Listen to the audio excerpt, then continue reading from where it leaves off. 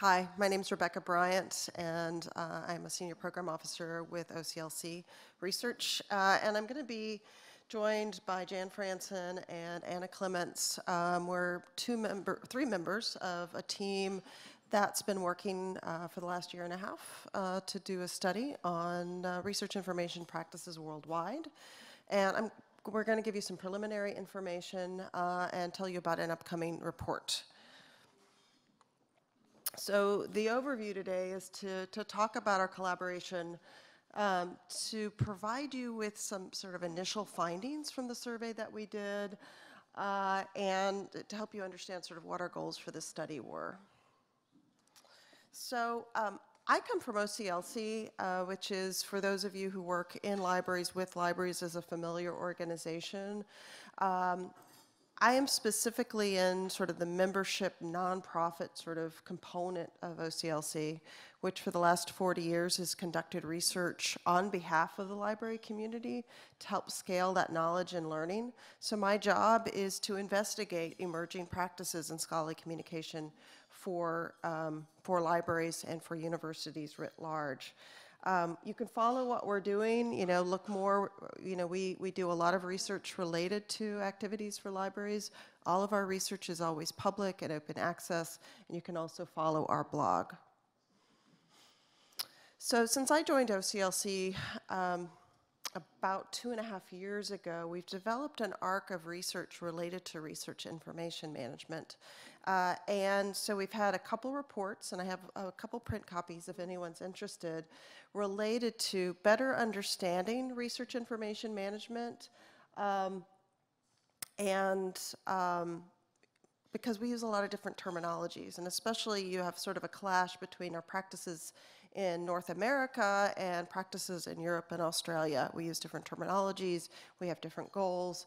Uh, and our goal has been sort of with the, the first report is to, to better understand that landscape, to see the similarities, and so we can sort of have some, some ways to better understand that. Also to understand how libraries are functioning within this landscape uh, and um, to articulate that to some extent. Um, we've done some additional research that's specific to um, continental Europe and better understanding what's the adoption of persistent identifiers like ORCID as well as sort of organizational identifiers within CRIS systems. And then this survey has been a partnership between OCLC and the EuroCRIS organization. Um, we will be publishing this report at the end of this month. It will be available open access. And I'll also add that we will be publishing the, data, the accompanying data set. So um, we've you know, in our report are talking about sort of the most relevant things, but we don't discuss everything that may be revealed in the data set. So if you wanted to take it and do additional research, that's our contribution to the community.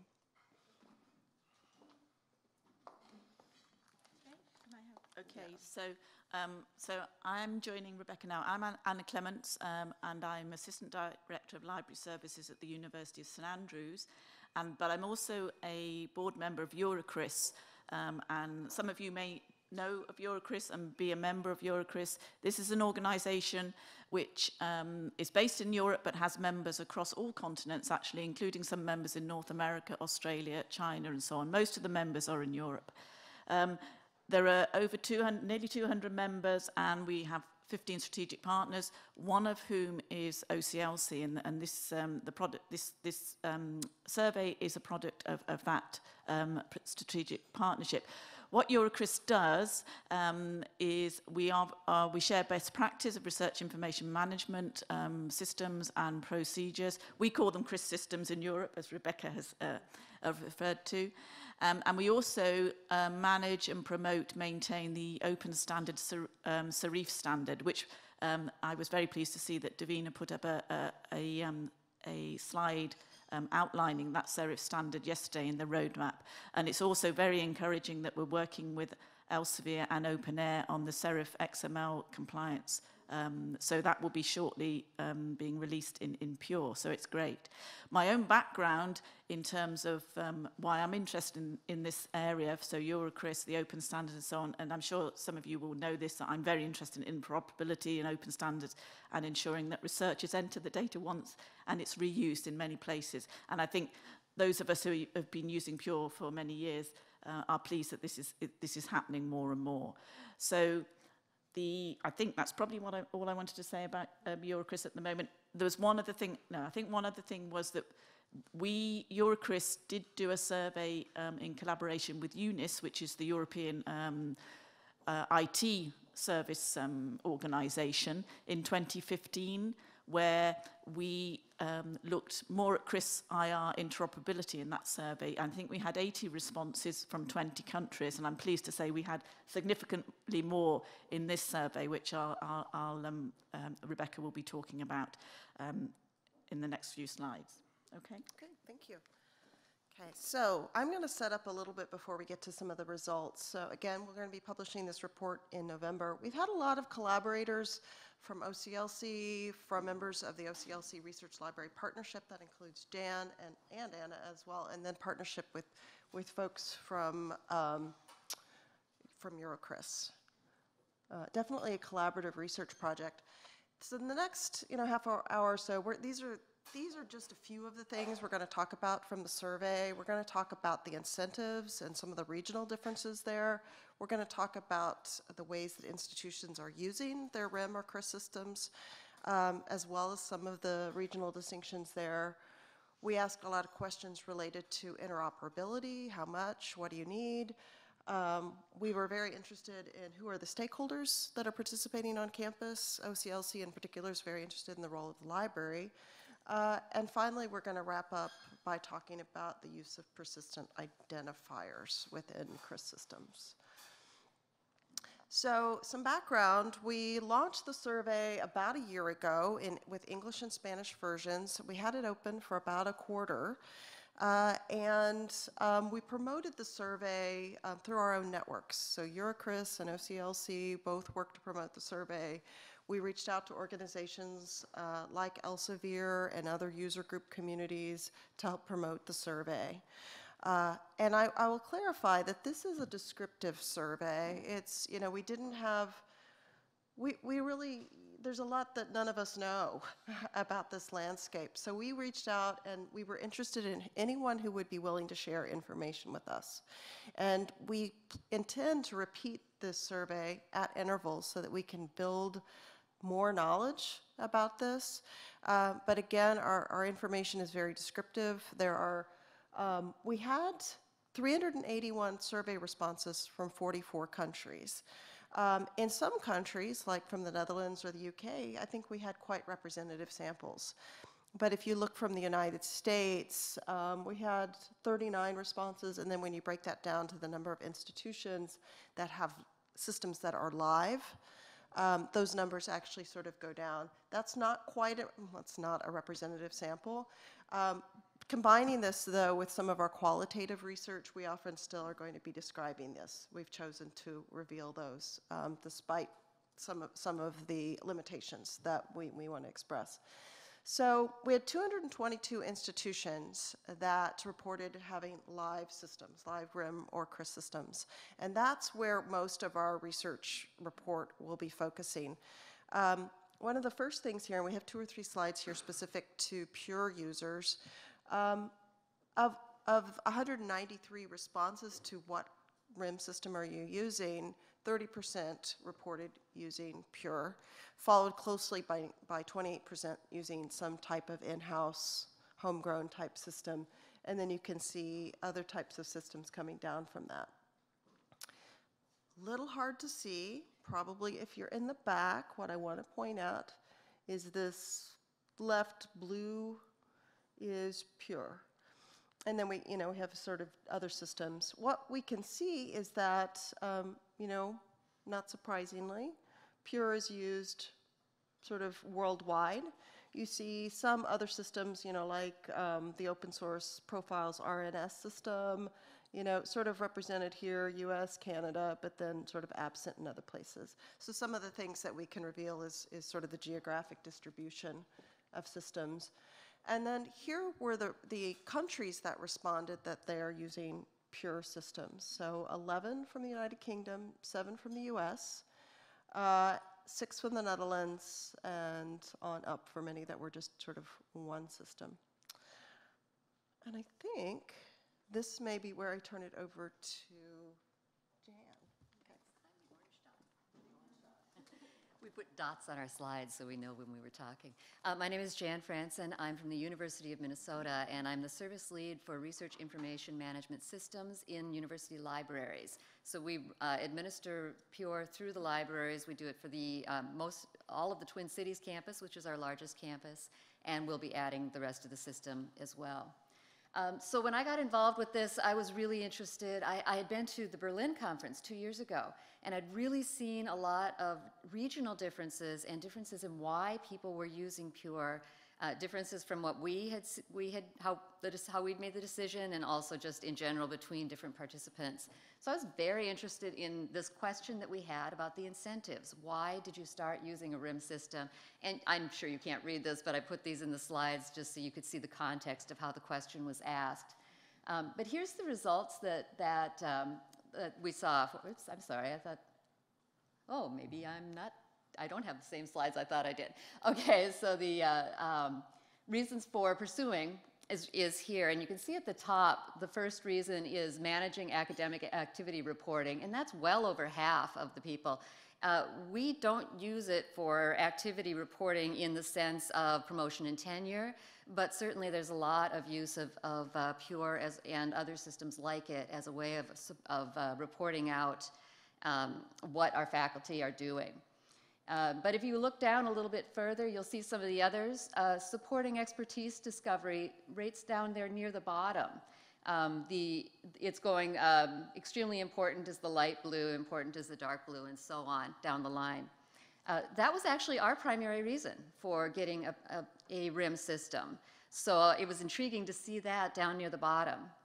Uh, this mixes things up a little bit, but another uh, influence, another thing that people use the system for uh, the external research assessment workflows. So that for the US and Canada was far less important relative to what we saw for uh, the UK and for Australia, thinking as we just saw in the previous presentation in this room about some of the institutional exercises that, that need to be done and reported out at a country level. Similarly, here's that expertise discovery broken out by country. And there we see Peru and United States, where it's relatively important. And then looking down the line, it becomes less and less important down to Australia and the Netherlands, down near the bottom there. Now, as Rebecca said, there are a lot of caveats with these data. They're really just kind of an indication of more questions that we think need to be asked. But we do have a few little in, uh, summary items to make note of here. Um, what, from what we saw in this data and kind of our observations previously, we really think the US has been kind of an outlier up to this point as far as how we in the US are making use of these systems relative to others.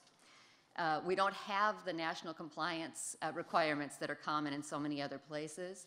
And in the beginning, we had a lot of emphasis within the US on research networking systems. One of the earliest systems that we saw at our institution was Harvard Profiles. We had that before we had SciVal Experts and, and then Pure. And it was about that networking aspect. Also, in this survey, we had a very low response from a couple of the communities that we would have expected more from, uh, uh, with more emphasis on that side, from Profiles RNS and Vivo. Uh, so we'll be trying to build that up the next time.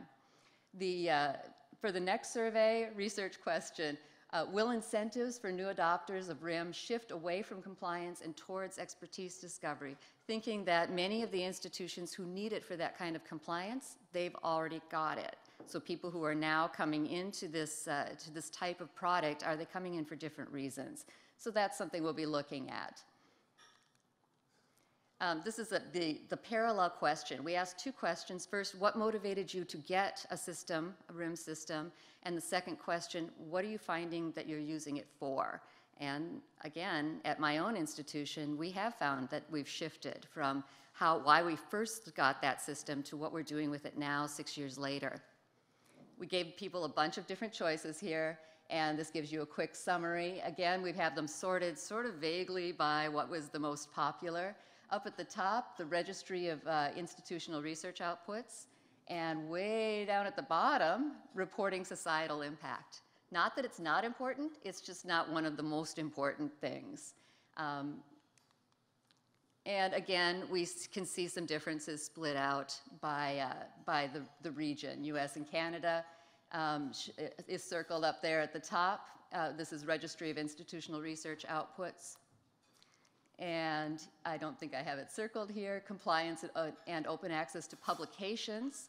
Again, not terribly important in the US and Canada, much more important at, in other places. The UK right there below it on the, on the list. This one is alphabetical. Uh, we see uh, that it's very important there. Um, this is open access to data sets, and I think this may be an example on the next survey of something else that we see a shift in as far as importance. Right now, the publications, very important.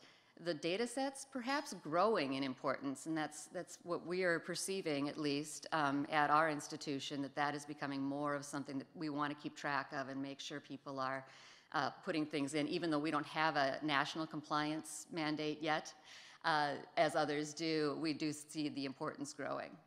Oops. Sorry. Um, so, yes, for most, the RIM is, is a valuable registry. Um, for all, most institutions that we saw, there are multiple uses going on. They might have had one motivation for starting, that may still be a motivation to keep using it, but other things have become more obvious as time has gone on. Uh, we'll be really interested to look in another year or two years when we do this survey again to see again how that shifts over time. And I'll turn it over to Anna. So back to my favourite topic about interoperability, and, and we looked at several aspects of interoperability.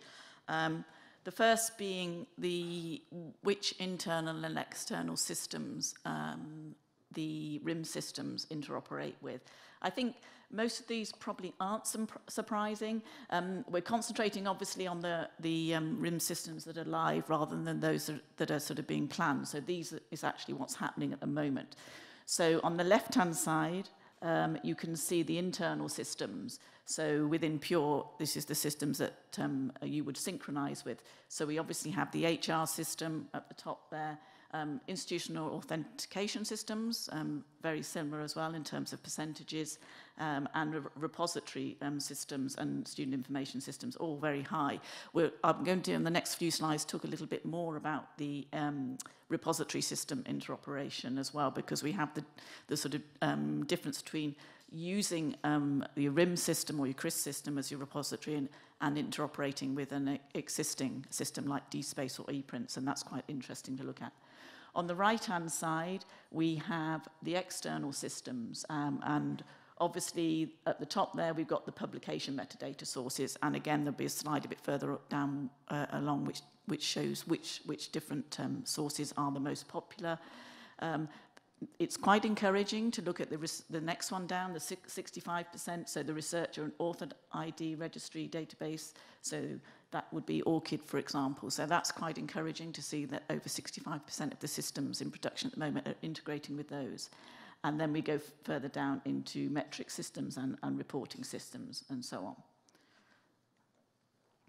So if we look at the publication metadata sources, I think there have been quite a few um, sessions already about in, um, synchronizing or scanning of publication metadata sources. There's probably a few more to come as well. Um, and how well or or otherwise that these work. But um, it's, it's interesting, I think, probably not surprising, the top one Scopus, uh, we have Web of Science, we have PubMed. Those, so those are the three top sources across the piece. Further down, there are some more um, interesting sources as well in terms of, um, so I think, can I get this? Yeah. Um, so what we always get um, from our arts and humanities scholars is, okay, Pure is fantastic for journal articles and conference proceedings and so on, but what about us poor scholars who produce books and book chapters and so on, where can we get the data from? Now, obviously, they don't um, publish so many outputs, but equally, I think we all have uh, a need to try and work with them. So it was quite interesting that, that there are some people using WorldCat um, to bring in information. There's also Google book, Books as well. Um, so it will be interesting to see whether that increases when we do the next survey. Um, and also um, whether more information is coming into some of the bigger databases that are indexing um, outputs of different kinds to see if that um, increases. So looking, going back then to interoperability with institutional repositories, So here, well, no, we'll first look, sorry, we'll first look at whether your RIM system or your CRIS system serves as your, as your default repository. What we've done here is we asked the question, um, oh, is it going to work? Oh. No, here we are. Okay, so we've asked the question about, does your RIM system serve as your default, your institutional repository? So that's your publications, your uh, thesis repository, or your research data repository. So here we can see that um, more so over, over half are using their RIM system, their CRIS system as their repository. Um, just over a third are using it for their thesis repository and about a quarter using it for their research data repository. Um, so we, I, we then looked at the figure for Pure, and the figures are fairly similar for Pure. So 58% are using it as the default repository, Um, interestingly, these two, so the thesis and the research data repository are, uh, are similar, so 29% for each. So um, that was quite interesting to see that. The breakdown, I think, which is more interesting, I find anyway, is the breakdown by region. So, which probably helps, um, we, can, we can maybe uh, draw some conclusions from this. So here, we, the blue here, the light blue is Europe, this, this um, bar here. Then we have the, the USA, Canada, we have Australia, and we, we have all the others. But if we look at uh, the difference between, say, Europe and the US in terms of um, the responses, it's quite, it's quite, it is quite different. Um, and I think that goes back to perhaps in, in Europe a longer history of, um, of um, repository, sorry, going back to the US, a longer history of using repositories perhaps, I'm not sure. But it's interesting, I think in the thesis side, that there's none, none of the um, institutions in the US or Canada um, are using their RIM system as their default th thesis repository. So I don't know whether that is symptomatic of whether the, the, the libraries or um, the research office aren't working so closely together with each other in the US and Canada as they are in Europe. That's a question that I think is, is an interesting one to ask. Um, and then looking at the other side of the coin, so instead of using your RIM system as your default repository for the different content types, what about if you're using it to interoperate with separate repositories? So for example, in in, in my institution in St Andrews, we had a, have a, and still do have a DSpace repository, which we had established before we had our, our Pure CRIS system. Um, and we've kept that and we've linked to it and we have our, we, we use the um, connector to, to connect to that. And I think that's, in the UK that's quite common, but equally, um, I think in the UK it's probably 50-50 between using your RIM system as your repository and interoperating. So, oh, sorry, beg your pardon. Where did I get, yeah, okay. So here we have overall, so this is the overall figures, um, so across all regions, so across the however many um, live instances that, that reported back, 43% are interoperating, um, have an in, their RIM system interoperating with their institutional repository, 15% with their data repository, and 20% with their, their um, thesis uh, repository. And again, as Jan pointed out, it will be interesting to see how those figures change when we run the, the survey again in a few years' time.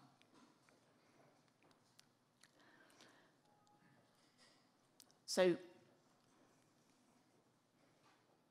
this again is the information which it broken down by region. So effectively, if you're interoperating, um, there's an interoperation between the CRIS system and your repository, whether it's your institutional repository, your data repository, and your thesis repository, how does that change between Europe, which is the light blue, Aust um, USA and Canada, which is the darker blue, and Australia here in, in the, I don't know what colour that is, the red, okay? And again, if we look at the research data repository and the thesis repository side, we have nothing from the USA and Canada, which again is quite interesting.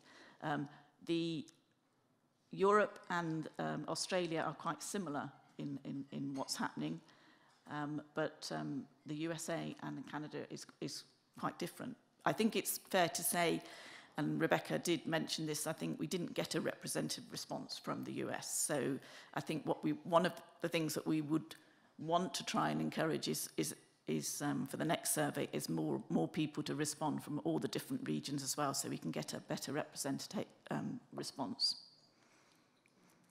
So leaving aside now, moving on from the um, interoperability with institutional repositories and so on, we then asked about protocols and standards that um, people were aware of that their system supported.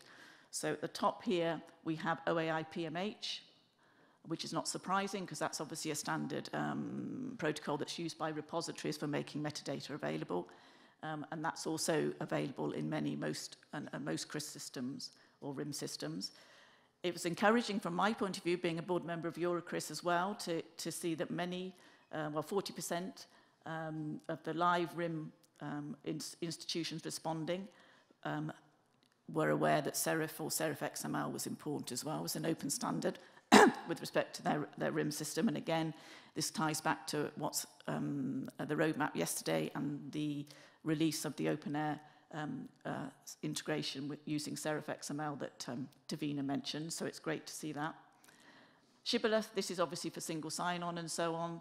Um, and then we have various other standards. Um, there's a CAS CASRAI here is mentioned, which some of you may, may be aware of. So CASRAI is an organisation that started in Canada, but has um, chapters now in the Europe and, and eh, sorry, in yeah, in Europe and in the UK. Um, and one of the key things that has come out of, of CASRAI is a standard definition for um, author con contributor um, uh, types. So it's the credit taxonomy, which is used by Nature and various other um, journals and so on. So that's quite an interesting um, standard. And it's also something that I, I think Pure should look at, at in terms of contributor roles against uh, outputs, because um, it helps a, any particular um, contributor to any type of author, uh, sorry, any type of output ensure that they are um, they get the right um, contribution um, acknowledgement to their outputs. And that's becoming more and more, more important, I think, for different types of outputs. So we're moving away from publications, data sets and so on. I think that's important. And software, I think, as well. So just some summary si findings. Then we've obviously found a, high, a fairly high degree of, of interoperability with many systems and particularly uh, institutional repositories. There are, I, I didn't point out actually, but in the, in the, the slide where we looked at some of the internal um, systems interoperability, there are quite a few of uh, the RIM systems across the piece that are integrating with workflows for funding information as well. And again, that's an area which I think will grow. Um, so information that's coming from funders into um, into RIM systems, I think it will be interesting to see how that increases over over the period. Um, obviously, we all, I think, if we're using a, a pure or probably any other RIM system, we are um, leveraging. We're, we're bringing in um, publications metadata from many different sources, which is, is great.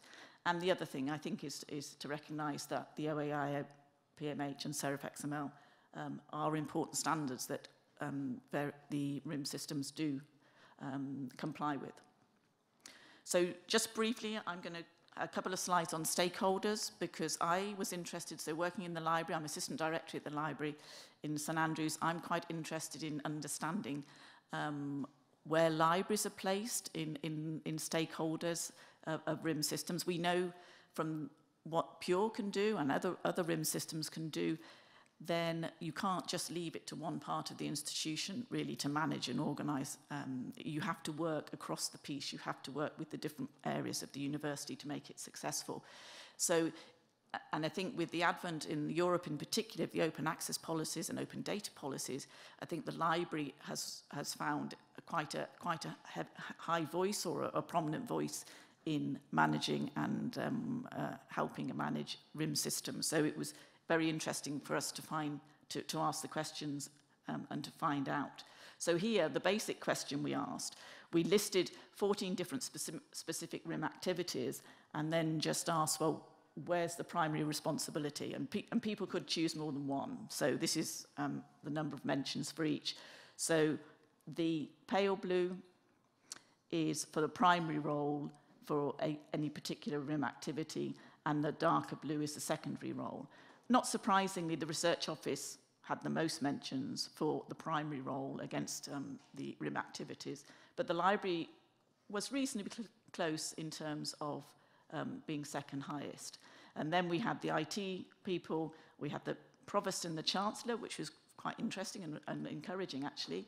And then we have the academic units, which in some ways is not surprising, but it's a bit disappointing. And I think as we saw yesterday in the presentation about the user interface. And it was a surprise to me, the figures that Henrik presented and just how many, how what percentage of the logins to Pure are personal users. And I think sometimes we as administrators or of, of Pure forget that. Um, so it's interesting that there is some um, some of the responses, and we'll, we'll look at it in country by country in a minute, which is quite interesting, did say that the um, ac academic units were um, did have the primary role in certain func functionalities, certain functions. So this, this is looking at breaking that data down by region again. Um, and this, I think, helps show you um, where there are differences. And I was particularly interested well, I'll just show you quickly. So we, we've ordered it in, in uh, sort of priority for the library. So the library in, in the Netherlands, so the library has the highest primary, primary responsibility um, selection here um, with, I think it's, I can't see, 50%, is it? Or not quite.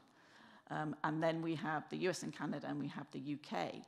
So this is the library, the pale blue. The darker blue is the um, academic units. And this one, the purple, if you like, or the crimson, whatever, is the um, research office, which is broadly the largest, well, the largest in many of the regions, not all of them though. And I think particularly it's the Netherlands is interesting and I'm quite keen to understand I have some, some thought why this might be the case, but the Netherlands, we have quite a high proportion of um, responses saying that the academic units are primarily um, responsible for a certain role. Now, whether that's because of the history in the Netherlands, so they've had um, Metis and Narcis and various systems for some time, and, and I think they must have worked very closely with their researchers. Um, but it's interesting to see that coming through. Um, as far as the, the US and Canada is concerned, um, then I'm not sure, I suppose there we've got the significant thing perhaps is that the research office isn't um, as important to say as the, as the library. But we'll be interested, I think, we can get more data to be able to delve into that.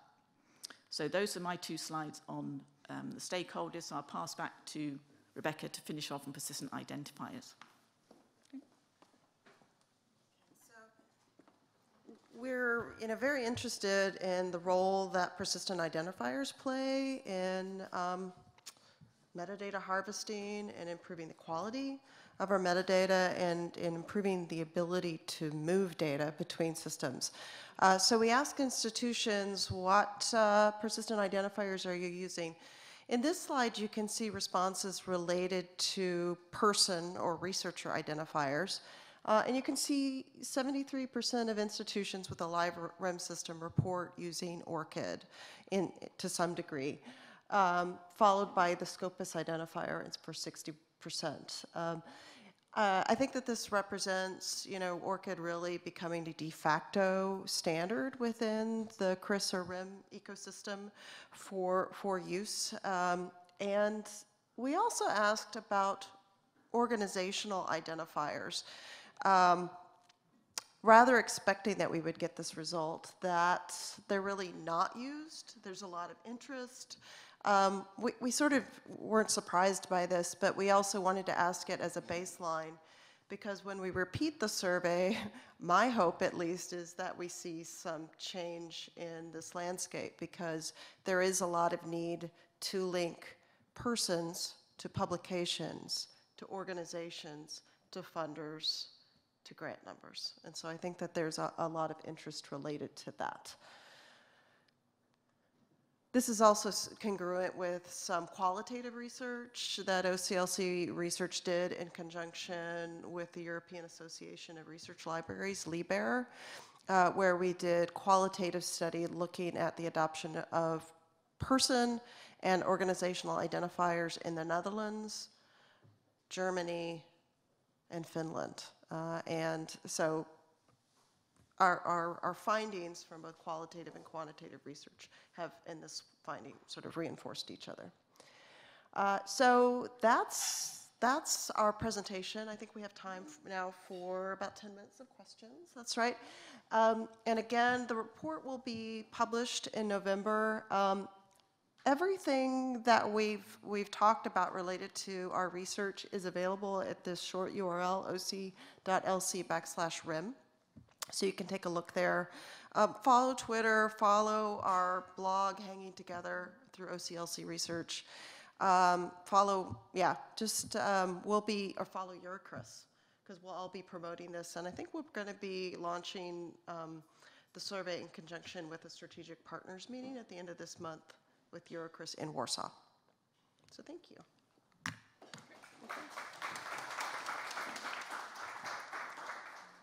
was going to give the first question to our online audience, but we don't have any yet, so I'm going to remind them again. We've got a few people online, so please submit your questions to the Ask a Question feature if you have them.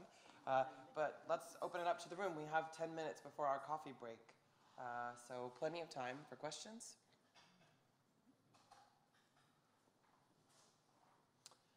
Two here. Fastest hand, I think, went to Ruth, but uh, doesn't matter.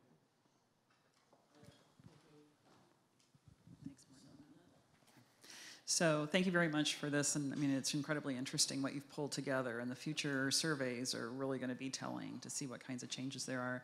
A question for you is, um, what was uh, sort of like the biggest surprise that you encountered in the results, or perhaps there was more than one that you really weren't expecting, or were there, were there any?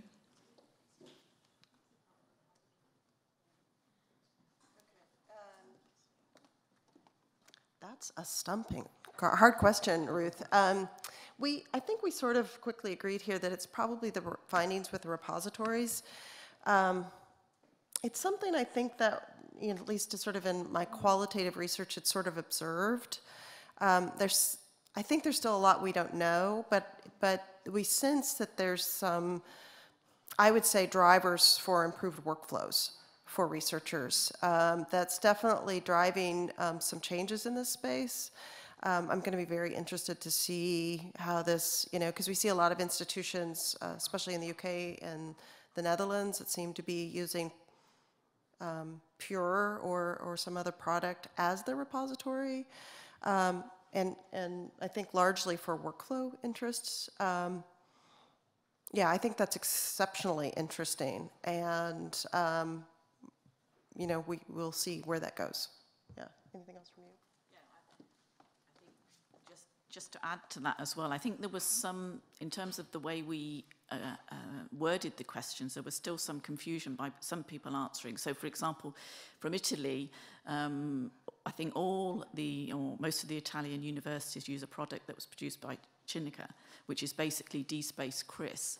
Now, in the previous um, survey that we did with um, euroCRIS and EUNIS, they had all answered that they have a, D, a, a, a RIM system that interoperates with a repository.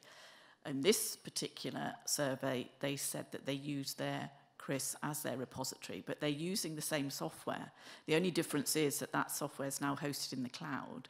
So, you know, so there's, I think there's, that was quite, I don't oh, we say that's a surprise. That's probably given us something to think about for the next survey to try and ensure that we can tease out these things and, and get, get the correct results or, or ensure that people understand the questions as well. The other big thing that we, we did learn from it, didn't we, was that we should make the, the question about country mandatory.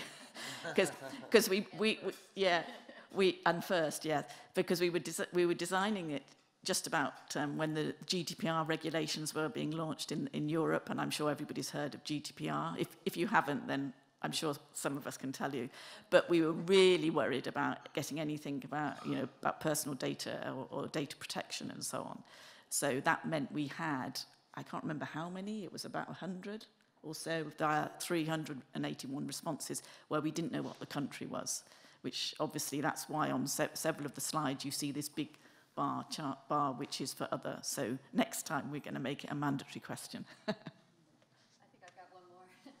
This is, uh, Similarly, this is more, not really uh, in the results per se, but just thinking about how, what, what our mindset was when we were first writing the questions. And we spent a lot of time getting the wording right, making sure that it would work from one country to the next and that sort of thing. And I think that in the end, the way we wrote the survey was more product-centric than I think we would do if we were doing it again today. Um, it seemed like as we got responses, you know, we, we asked questions like, what, what system did you implement first? What did you implement? If you implemented something else, what did you do second? And I think that there is maybe a little bit more of multiple systems working together in sort of an ecosystem rather than any one particular product that does it all. And I think next time we may try to account for that a little bit more. Thank you. I think next question was here. Yep. Um, Good morning. My question is about um, the organizational identifier. Um, And Rebecca, you mentioned that you weren't surprised by the results that you got from the survey and that you were hoping for a change the next time you conduct the survey. So I'm wondering if you have any suggestions um, what those of us working at institutions might be able to do to help effect those changes that you're hoping for.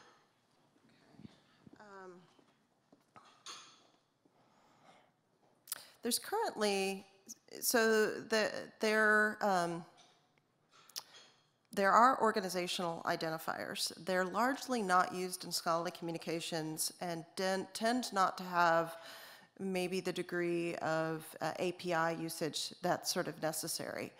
Um, and um, there has been efforts um, that many of you may know about that are being led by ORCID, DataCite, and Crossref uh, related to um, a new organizational identifier that, like ORCID, is sort of intended to be plumbing uh, within the landscape. Uh, and um, I actually previously worked for ORCID and understand that there's sort of a lot of needs for um, improved assertions from organizations, and you really need sort of some improved op- interoperability there.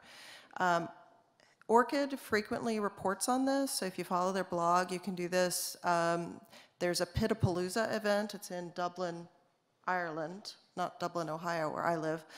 Uh, and that's in January. I think that that's a way to track that. Um, and I think there's a lot of interest also coming from the funders as well.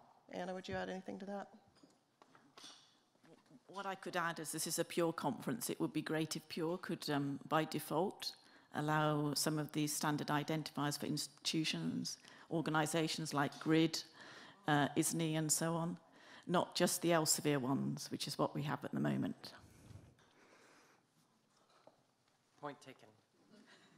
Um, yeah, hi. Um, can I, can we go back to the term, um, primary responsibility again for a second? And sorry if that was explained, but the way that I interpreted that, I mean, it- you could look at that a few ways. It could be financial responsibility. It could be looked at as day-to-day operations. And maybe I- I'm sorry if you actually did explain how the question was worded, because I'm at Penn State, and if it weren't for uh, the vice president for research paying for it, the, a number of players wouldn't be involved down the road. So I'm just kind of wondering if we could go back to what that question, how that question was worded. Okay, Thank you. yeah. I, this is just a summary. There are 14 different specific RIM activities. So, for example, one of them is financial, right? So they were asked for each of the 14 ones. So this is just an aggregated slide over all of them. So in the report and the data we release, it will be quite clear. Um, okay, so sorry if I didn't explain that very well, but that, yeah. Okay. Okay. But, I mean, we can probably show you the data anyway if you're interested. We've got that. Okay. Yeah, I think it'll be. Yeah, okay. I think it'll be quite interesting to see the, Yeah. the breakdown of Yeah. where, uh, uh, especially geographic differences on some of those Yeah. uh, key responsibilities. Yeah. Okay. Another question from the audience? We still have one minute until your coffee break, so let me do a quick check online. Oh, we do have something online. Aha! Online question. Uh, what do you think the differences between the US and Canada results compared to the rest of the world might mean for the development of Pure?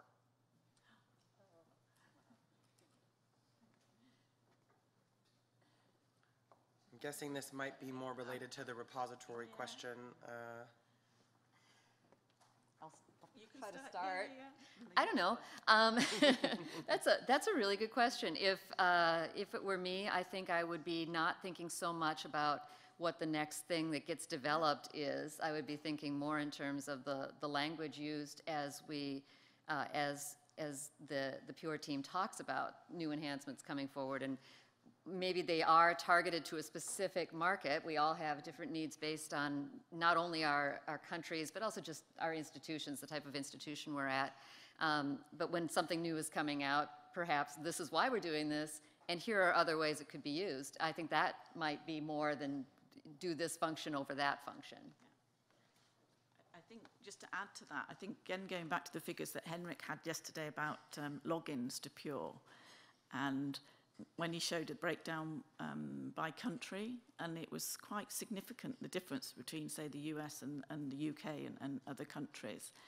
And I don't know whether there's anything there in, in the way, the different ways that Pure is used in the US and, and North America than elsewhere, maybe in the UK, Europe, or whatever, which um, is something that can be explored or, or maybe delved into more. Um, because I was really, I was quite shocked by that. I was really quite, well, shocked, surprised by that, um, particularly as I thought from my colleagues that in the US, um, well, it, it, I suppose it's a matter of how much individual users are using it compared to administrators. And um, I don't know whether those figures were indicating that more individual users are using it than administrators. What I was surprised about was the raw numbers were so low in the US. And I, why?